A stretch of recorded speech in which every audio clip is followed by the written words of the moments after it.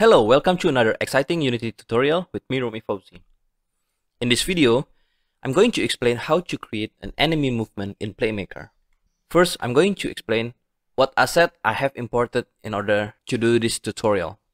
So here under the sprite, I have imported the Dino sprite and you can download the sprite from this website. I'm going to put the link in the description. And the other thing that I've already prepared is the enemy game object. So basically for the enemy, I have an empty game object. And inside this empty game object, we have a couple of objects that makes up the enemy. Here we have enemy entity and the enemy entity is the one that handles the enemy movement and also collision. So actually the parent object doesn't do anything other than grouping all of the object that needs to be together. So whenever we copy the enemy, we can just copy the whole thing and then we can readjust all of the child objects. And here under the enemy entity, I have capsule collider attached and also a rigid body with a freeze rotation checked.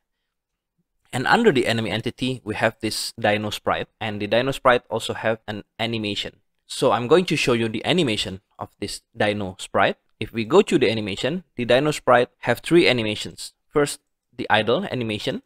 Second, the walk animation. And third is the death animation and I've set up the animator like this. So basically we only need two parameters. One is a float and I call the parameter speed and the second one is a trigger called death so basically the starting state is a blend tree and inside this blend tree we are basically transitioning from the idle to walk depending on the speed value. So if it's zero then it's going to be idling and if it's one it's going to be walking. And here outside the blend tree here we have another state for playing the death animation and for the transition I've disabled the has exit time and add the condition using the death trigger. So yeah, that is basically all that I've set up. I've just put a box here for the ground for testing out. And the other object under the enemy game object is the right boundaries. And this is basically an empty game object and also the left boundaries. And we can adjust this position to limit the movement of the enemy here. So now let's start develop the FSM. So let's select the enemy entity here and open the Playmaker window. And I'm going to add a new FSM. And I'm going to call this movement. And inside this movement here, I'm going to add the set velocity 2D. And we need to define a variable. So let's just add a new variable on the x-axis. And let's just call this speed and I'm going to enable every frame. And here under the variable we want to show the speed on the inspector so we can change the value on the inspector here. I'm going to set this to 3 and the next variable that we want to add is the right boundaries and the left boundary. And both of this variable should be a type of game object so I'm going to change that and let's just also enable on inspector. And now that we have this shown in our inspector we can drag the right empty game object to the right boundary. And we can drag the left empty game object to the left boundary.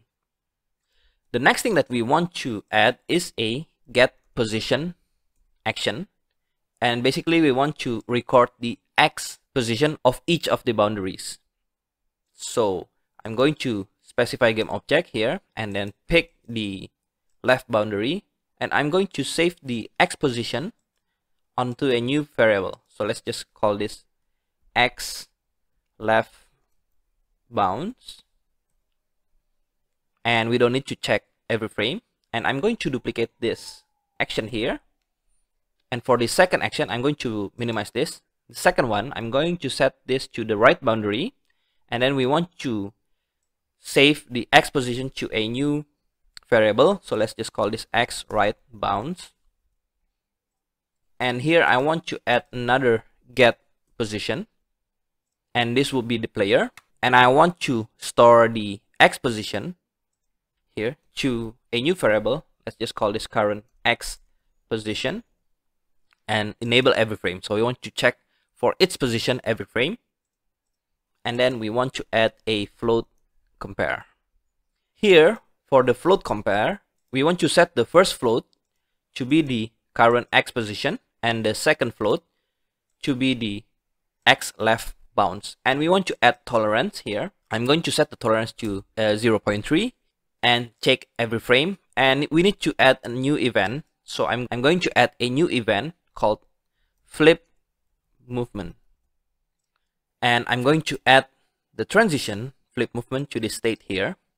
And then whenever the x position values equal to the x left bounds with tolerance of 0.3 we want to send the flip movement here. And let's just copy the float compare here by pressing Ctrl C and Ctrl V to paste it. And then we want to compare this also with the x right bounds and we don't need to change any other parameter here.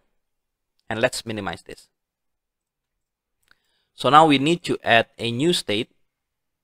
And let's just call this flip speed. And here under the flip speed we want to multiply the float speed with negative 1 and we don't need to check every frame add a finish transition.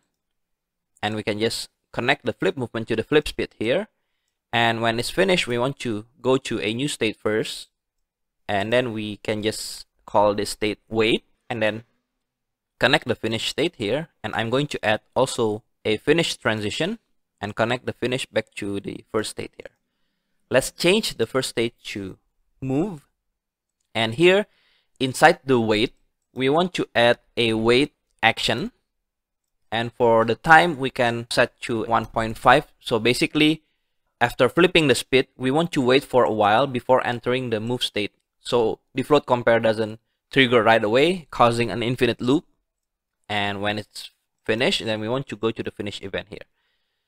But we want to copy the set velocity 2D action to this wait here. So after the enemy flip its speed we want to keep moving the enemy. Okay. Now let's save the scene here. And now let's give it a try there you go we have back and forth movement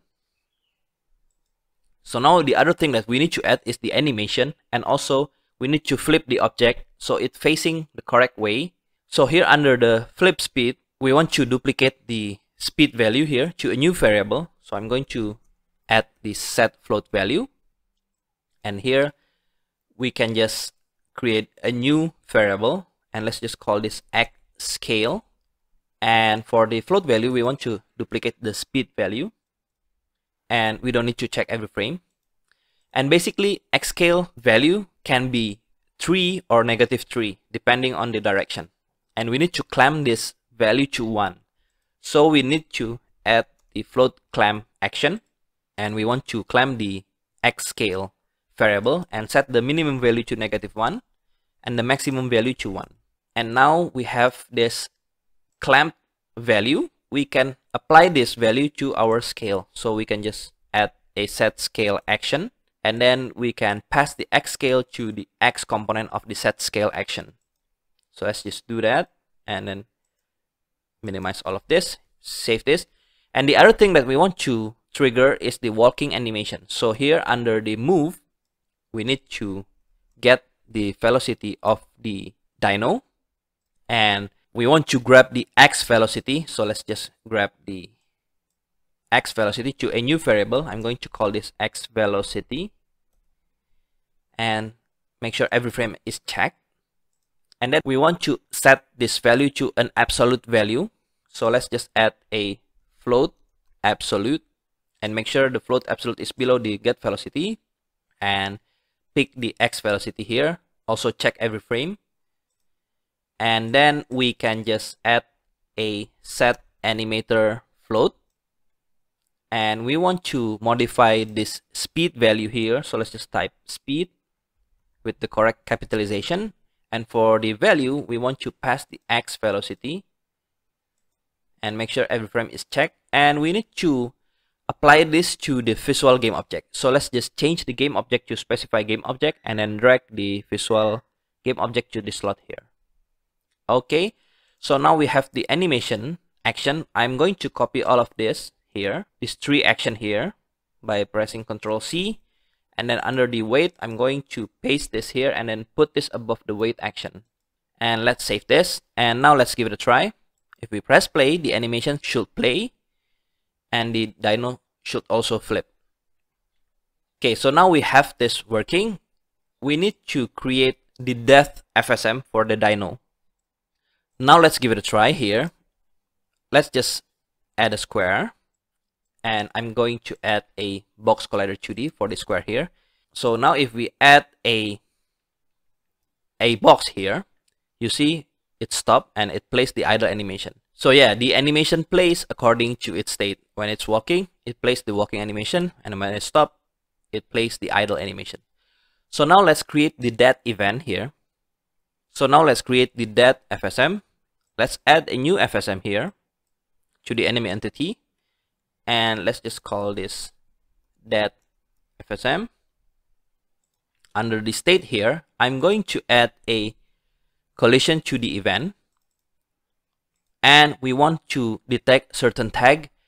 In this case, I'm going to add the player bullet and we want to create a new event. Let's just call this dead. And whenever we hit object that has tag of player bullet, we want to transition to the dead event. So let's just add the dead transition and add a new state here and connect the dead transition to this new state. And let's just call this wait for collision. And for the state, I'm going to call this dead. And let's set the set event under the collision event to this dead transition. And inside the dead state, first we want to trigger the animation, which is the dead state here. So we need to trigger this dead trigger. I'm going to type that in the trigger option and I'm going to specify the game object to this child object here. And then I'm going to also set the velocity of this dino here to zero on the x-axis, but I'm not going to enable the every frame. And then I'm going to run the enable FSM action. And we want to use the owner, but we want to pick the movement FSM and I'm going to disable the FSM and also disable the reset on exit checkbox and save this. And we want to also disable the component here, the rigid body and the capsule collider, and we can just simply destroy that component. So use destroy component here, and then we can pick the component. Let's just grab the capsule collider 2D, and we want to add a destroy component. And the second one, we want to add the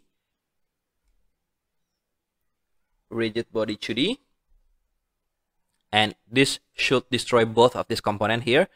So later when the enemy is dead the player won't be having issue when hits the enemy because there are no collider and rigid body anymore.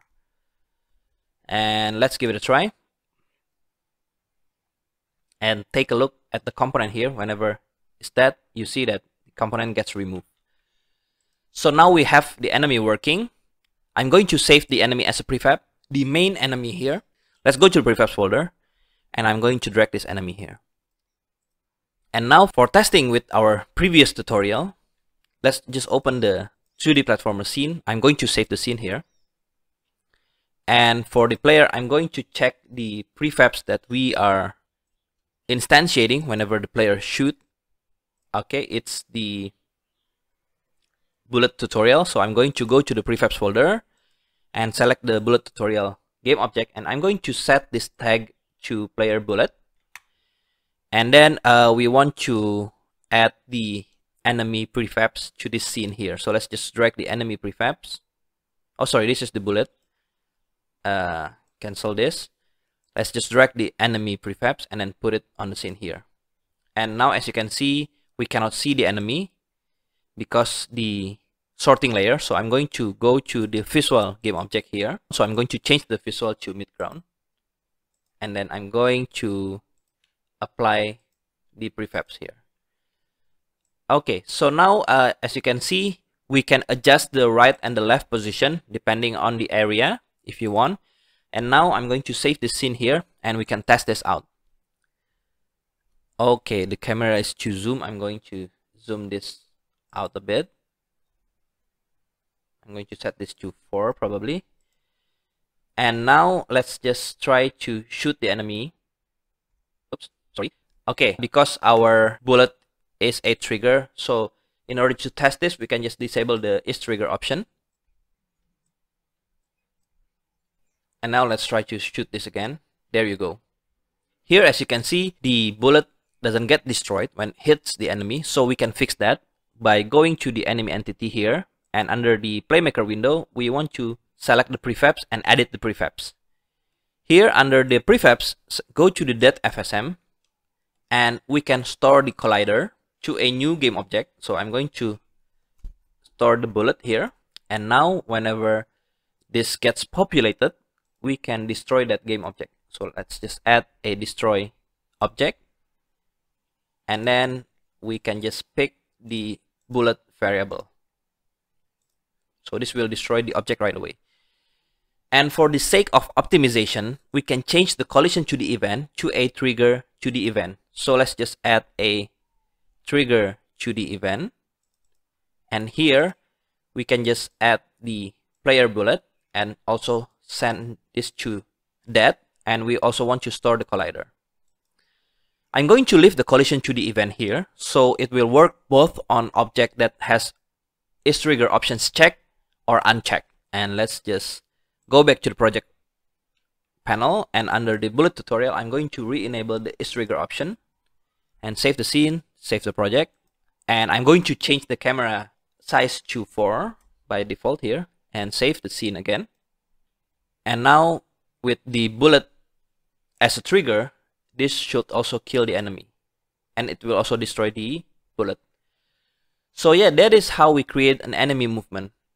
In the next video, we are going to discuss how to create health bar for the player and how to create mechanics that if the player hits the enemy, then the health gets decreased or gets subtract. Okay, thanks a lot for watching. I hope you enjoy this tutorial. And if you like this video, hit that like button and do subscribe. See you in the next video.